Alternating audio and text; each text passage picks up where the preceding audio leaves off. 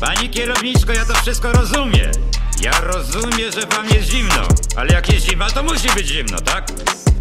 Pani kierowniczko, tak jest odwieczne prawo natury.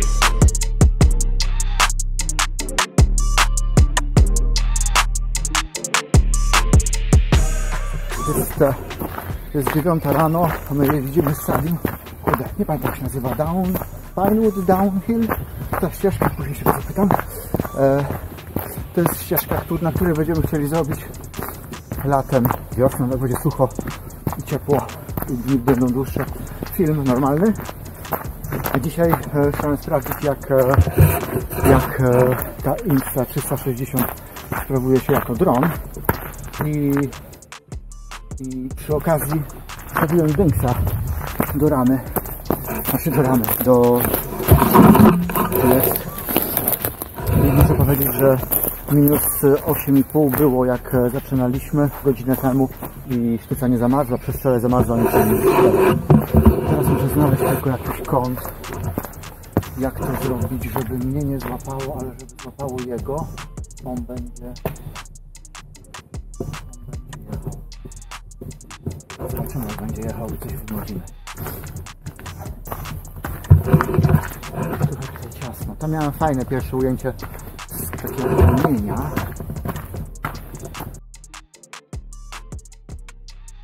Okej! Będzie leciał od początku, bo chcę... Właśnie nie wiem, co chcę zrobić tak naprawdę. Powiedział mi, że chce skoczyć dropa, tylko nie wiem którego. Czy, czy tutaj tego, czy, czy tego drugiego. Aha, tego tutaj.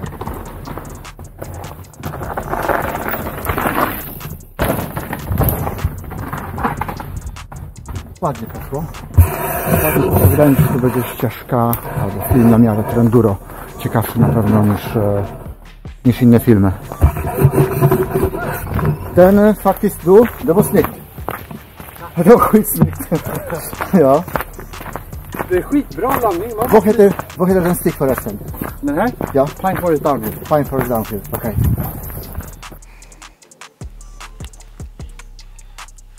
Równo tydzień temu poszedłem pojeździć, temperatura minus 4,5 stopnia, wiecie, bestia ze wschodu, zaledwie musnęła ogonem ten kawałek e, Skandynawii, na którym ja mieszkam.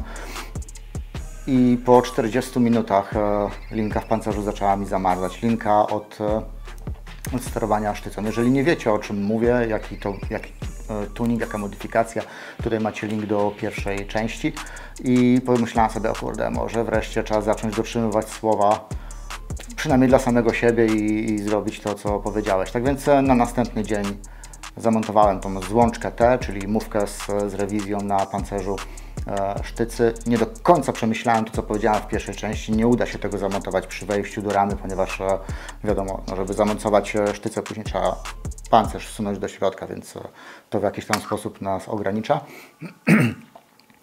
Ale zrobiłem to, przedmuchałem, przedmuchałem pancerz i do nasmarowania, czy też nie wiem, żeby zapobiec zamarzaniu, użyłem sprayu e, firmy Abus, czyli do zamków, czyli sprayu, który ma smarować i wytrącać wilgoć, no i jednocześnie ma zapobiegać zamarzaniu zamków, więc e, to jedyne co znalazłem.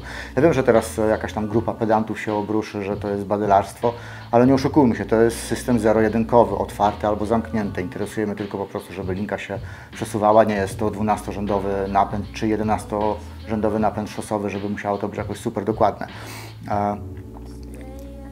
Budowa tej konstrukcji to jest jak budowa cepa, tak? Otwarte, zamknięte. Tak więc zrobiłem to i w sobotę poszliśmy z Sadim zrobić taki scouting na trasce, którą chcemy kręcić. E, To, co mogliście zobaczyć wcześniej. Wiem, że bez, bez ekstra mikrofonu, bez zewnętrznego mikrofonu dźwięk z Insty na, na e, metrowym e, selfie stick nie jest najlepszy, więc powiem Wam tak, e, 8,5 stopnia tyle pokazywał termometr w samochodzie, kiedy jechałem do pracy, się do sklepu.